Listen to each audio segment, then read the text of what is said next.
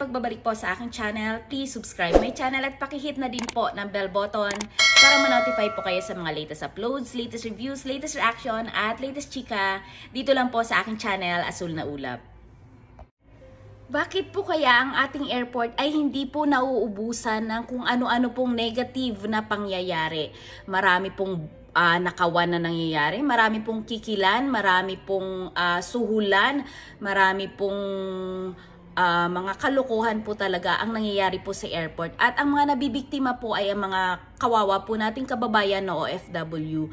Uh, meron po dati itong laglag bala na alam ko po na uh, nabalitaan nyo rin po ito. Meron pong yung mga bagahe po ng ating mga kababayan na umuwi po galing sa ibang bansa ay ninanakawan po, binubutas po ng mga in charge po ng mga sa mga bagahe po. So, yun po, alam kong nabalitaan nyo rin po yun. At meron pong sa Bureau of Immigration naman, sa part po ng Bureau of Immigration, na sobra naman pong higpit na wala po sa lugar, na meron po tayong kababayan na dapat po ay magbabakasyon, na na-disappoint po dahil hindi po siya nakaalis dahil sobra pong paghihigpit ng uh, immigration officer na wala naman po sa lugar at hanggang nakaabot po ito sa Senado, ang investigasyon po na ito, ito po yung sinasabi kong immigration officer na nanghihingi po ng diploma doon po sa kababayan natin na dapat po papaalis ng bansa. So alam po na balitaan nyo po yun. At pagkatapos po nito ay meron naman pong sumunod na pangyayari, yun po yung na-videohan ng, foreign, ng foreigner po yung atin pong kababayan na nagtatrabaho po sa airport na kinikikilan niya po yung parang Thailander po ata ang nationality nito at ang nangyari po ay nung nakita niya po na naka-video po siya ay nakiusap po siya doon sa sa foreigner na burahin po or i-delete po yung video. Akalain niyo po yun, gumagawa sila ng katarantaduhan. Tapos, uh, makikiusap sila na i-delete po yung video na yon So, anong anong mental, mentality meron po itong mga tao na to. So akala nila makakalusot sila. Sana naman po ay na-actionan po itong pangyayari pong ito, yung pong uh, na-videoan po na kababayan natin na nagtatrabaho po sa sa airport uh, sana po natanggal na po sila para hindi na po sila pamarisa ng mga kasamahan nila kasi ang mga biktima po talaga dito ay mga OFW po nating kababayan na nagpapakahirap po sa ibang bansa para lang po uh, makapag-ipon at magkaroon ng magandang buhay tapos bigla-bigla na lang pong uh, uh, kikikilan po sila or nanakawan po sila ng mga nagtatrabaho po sa airport. At eto pong huli, late, latest po, uh, nagvo-viral po sa social media.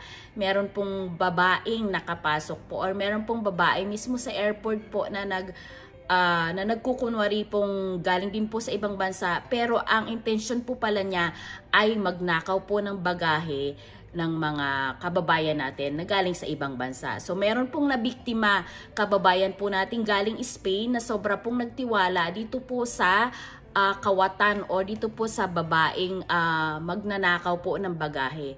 So ito po yung content ko ngayon at ibibigay ko po ang detalye pero sana po ay i-subscribe na po ang channel ko kung hindi ka pa po nakaka-subscribe sa channel ko at pakihit na din po ng bell button para ma-notify po kayo sa mga latest uploads ko po. Ayon po dito sa balita na aresto ng mga otoridad ang suspect na nagpapanggap na pasahero sa NAIA Terminal 3. Ang modus po nito ay magtangay ng mga bagahe mula sa mga tunay na pasahero galing sa ibang bansa. Sa isinagawang operasyon ng Police Intelligence and Investigation Department or PIID ng Manila International Airport Authority or MIAA sa pakikipagtulungan ng Quezon City Police nahuli ang suspect na si Jovi Banaag Zamora na naka-check-in sa isang hotel sa lungsod ng Quezon City Biyernes, May 5.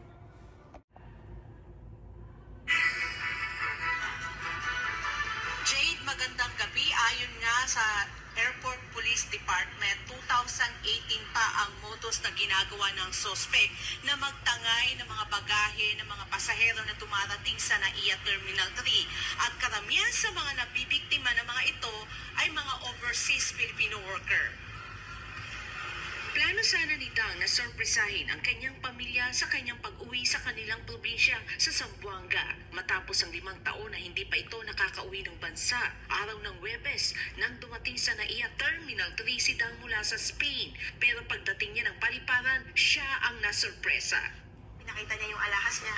Tapos may push cart din po siya na which is yung yung push cart niya is may Louis Vuitton siya na yung bag na saan nilalagay yung parang paper bag na Louis Vuitton. Tapos may luggage siya ng isang maliit. So tapos she's also wearing a bag na Michael Kors. So parang nagtiwala po ako na abroad po din siya. Nilapitan kasi siya ng isang suspect isa ring pasahero at modus na makipagkaibigan at kunin ang loob ng mga nais na mabibiktima. Maliban kay Dang na mula sa Spain, kasama niya ang isang OFW din mula naman sa Hong Kong na kapwa niya na biktima. Nagpaalam pa daw si Dang na aakyat lamang sa taas para kumain at ipinagkatiwala ang kanyang pushcart na may tatlong luggage na ibinili sa suspect at sa kapwa biktima nitong OFW na taga Hong Kong. Pero pagdating niya sa taas, nakita niya pa daw ang dalawa na naroon din sa taas at sinabihan siya ng suspect magpatuloy ka lang sa pagkain habang inutusan niya rin ang OFW na taga Hong Kong na bumili rin ng pagkain. Pero ang nangyari, pagdating sa baba, ang mga gamit ng dalawang OFW nawawala na, tangay na ng suspect. Sabi ko, akyat po muna ako sa taas kasi kakain na po ako kasi gutom ako. Sabi niya, sige, sige, iwanan mo dito kasi dito lang naman kami. Ma, ma, sabi ko, sure po, sabi niya, tiwala po kasi natagal na kami nag-uusap. Eh, mga 12 something po, bumaba ako. Sabi ko, sa, saan yung mga luggage ko? Sabi ko, saan? Kasi isang isang pushcart po yun. Lahat po yun sa akin. Limang, ga, tatlong luggages and then isang backpack and isang parang na ano po, paper bag na malaki. Sabi ko, sana si ate? Sabi ko, saan yung gamit ko? Sabi nung taga Hong Kong na biktima po, sabi niya, akala ko magkasama kayo kasi si, dinala niya, dinala niya din yung back, dinala daw din pala yung backpack niya. Which, Ayon kay Dang, tinatayang na sa isang daan limampung libong piso ang halaga ng nilalaman ng kanyang luggage. Maliban pa sa mga pinadalang pasalubong ng kanyang kapwa OFW sa Spain na taga Zamboanga din. Nakatakda sana ang kanyang paglipat patungong Zamboanga alas 6 ng umaga, araw ng Biyernes o Mayo 5, 2023. Pero ayon sa mga otoridad, kailangan ng kanyang presensya para sa isasagawang operasyon sa suspect. Inihayag ni Airport Police Department Colonel Ping Jose sa SMNA News, agad silang nagsagawa ng aksyon matapos inireklamo ng dalawang pasahero ang insidente. Sa pakikipag-ugnayan ng MIAA-APD sa taxi driver na ituro niya kung saan niya naihatid ang suspect. Natuntun ito sa isang hotel sa Quezon City. Nakipag-ugnayan din ng MIAA-APD sa QCPD upang mahuli ang suspect. Nalocate ng MIAA-PIID-APD sa tulong ng CCTV footage kung saan nakita ang plate number ng taxi na kanyang sinakyan sa departure area ng Terminal 3. Nakuha natin through CCTV yung sinakyan niyang taxi na trace namin at naayos ng mga tao. Nakuha namin yung driver, pina-identify yung tao kasi may mga previous na kami litrato niya. Na-identify siya, positive. At yun ang nagturo kung saang hotel niya hinatid. So gumawa agad kami ng uh, uh, oplan. Uh, diretso na coordinate kami sa Quezon City Police. No? At uh, pinuntahan nga yung hotel. At uh, awa naman ng Diyos, na- inabot pa siya ron. Ayon din sa Police Intelligence and Investigation Department o PIID ng Manila International Airport Authority, kinilala ang suspect na si Joby Banaag Zamora.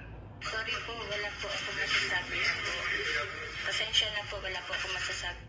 Magsasampa ng reklamo ang biktima laban sa suspect. TEP ang ikinakasang kaso laban kay Banaag na isa ring bailable offense. Ang MIAA-APD naman ay patuloy na kinukontak ang mga iba pang nabiktima ng suspect noon upang mapalakas ang kaso laban sa kanya. Napag-alaman na ito ay ikalimang beses ng pagkakahuli sa suspect. Isasama siya sa listahan ng banned personalities na naiya upang hindi na ito makapagbigay perwisyo sa mga pasahero sa paliparan. May paalala din ang MIAA at sidang sa mga OFW upang hindi maging biktima ng mga ganitong modus. lesson learned din po na never po ako mag-trust. Ano po kasi din ako eh, masyado akong magaan lang. Kasi nag-offer pa ako ng food sa kanya.